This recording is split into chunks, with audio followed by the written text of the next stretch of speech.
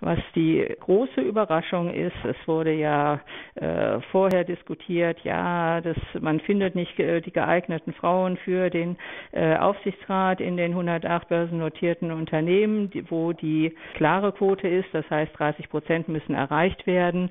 Wenn die noch nicht erreicht sind und man keine Frau für den Aufsichtsratsposten findet, dann bleibt der Sessel leer. Also die Erfahrung ist, es ist kein einziger Sessel leer geblieben.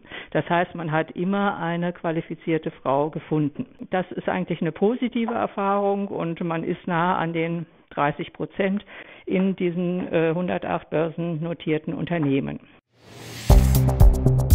Wenn die Quote ohnehin Wirkung zeigt, warum ist es dann weiterhin notwendig, Frauen externe Unterstützung auf dem Weg in den Aufsichtsrat anzubieten?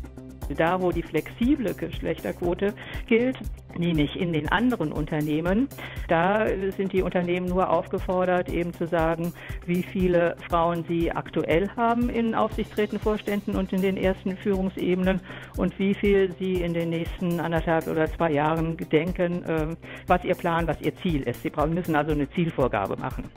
Und es sind doch eine Menge von Unternehmen, die kein Problem damit haben, zu sagen, wir haben null Frauen. Unser Ziel ist, diese Zahl zu halten. Man sieht, es geht mit Druck, ja, es geht leider, leider noch nicht mit Einsicht.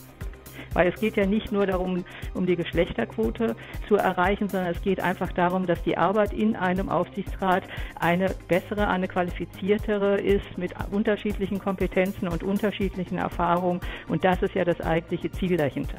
Das scheint mir wird noch nicht von allen verstanden. In diesem Kontext, was sind die zentralen Inhalte Ihres Seminars? Ein ganz wichtiger Faktor auf dem Weg in den Aufsichtsrat ist das Thema Netzwerken. Jetzt ist dieses Thema Netzwerken doch äh, für viele Frauen auch sehr abstrakt und für sich beruflich die Netzwerke zu nutzen, um sich eben in eine andere Position zu bringen, ist für Frauen etwas schwierig.